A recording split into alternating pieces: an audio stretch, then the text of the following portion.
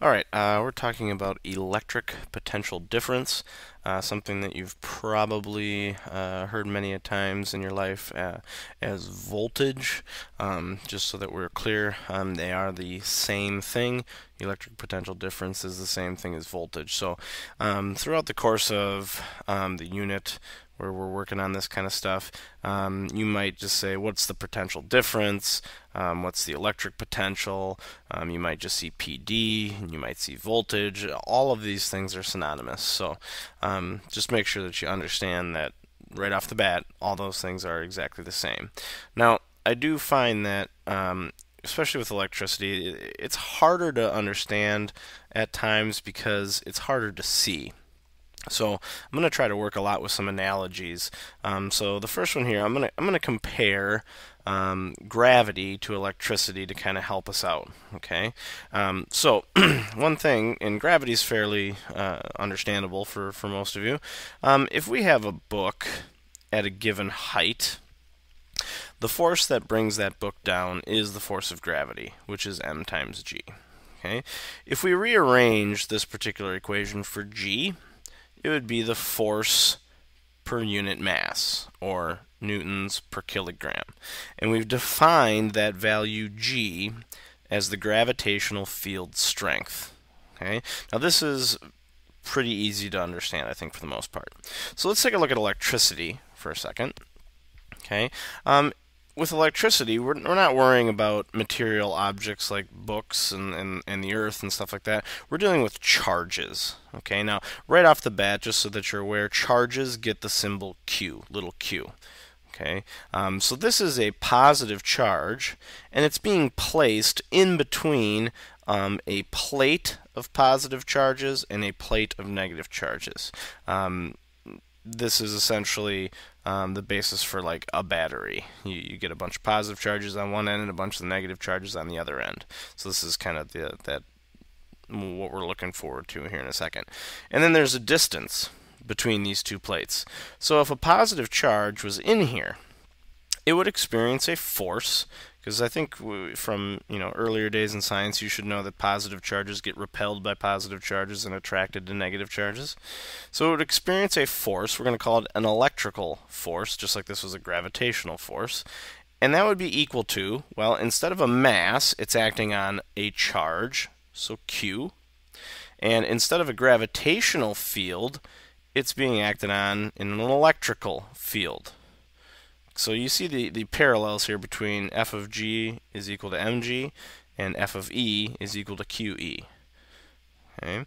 Um, if we rearrange this for E, you get E is Fe over Q. That would be the force per unit charge.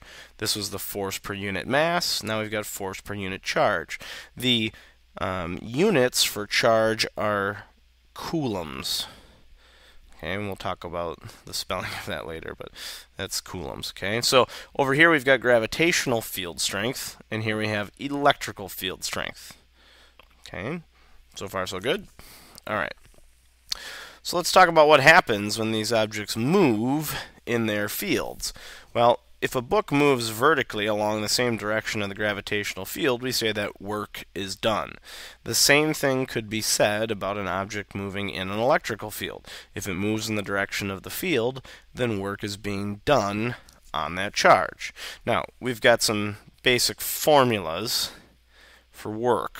Okay. Now, I've written the IB version here, uh, F parallel to S um, or the AP version or, or just regular physics version, uh, work is the force parallel to the displacement. Um, same thing. It doesn't really make a difference, okay? But no matter what, if it moves parallel to its field, then we're having work done, okay? So work is also defined as a change in energy. Okay? But what is the type of energy that's changing here in both cases? Okay. Um, in the gravity uh, gravity's case, um, if you move in that gravitational field, then your gravitational potential. So for IB it's EP, uh, AP it's UG. Okay, uh, your your gravitational potential is changing. Okay, which is equal to mgh. In an electrical field, the work done, or that change in energy, isn't equal to the same thing here. It's equal to QE times delta D. Okay, now where am I getting this from?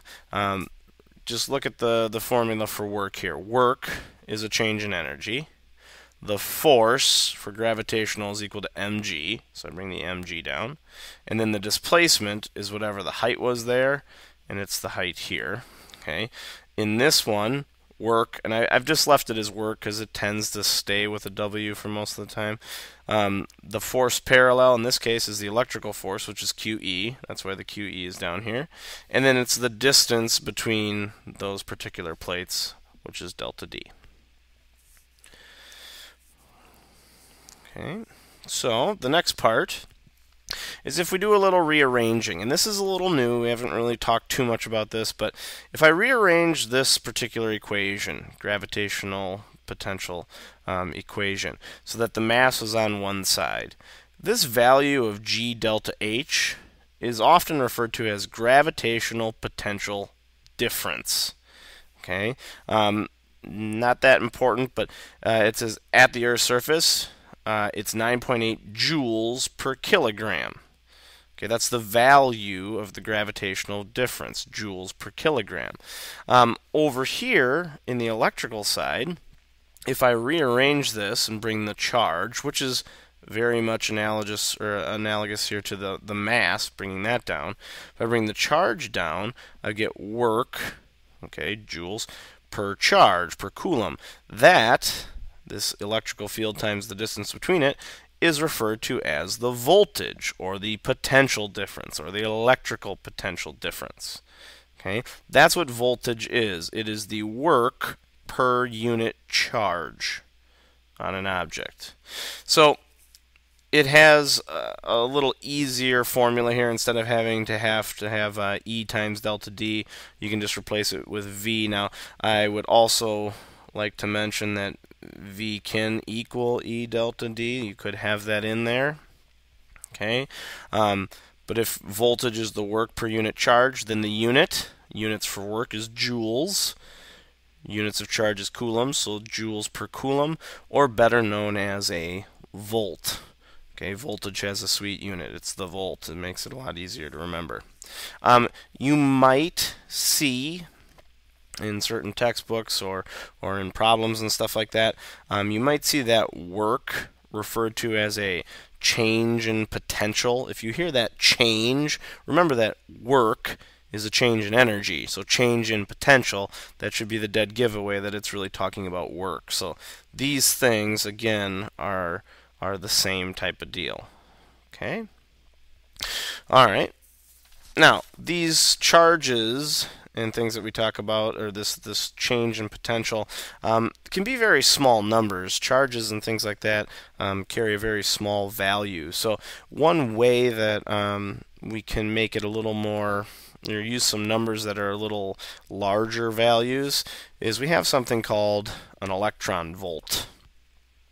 Okay, and an electron volt is defined as the work done when a charge equal to one electron charge is taken across a potential difference of 1 volt.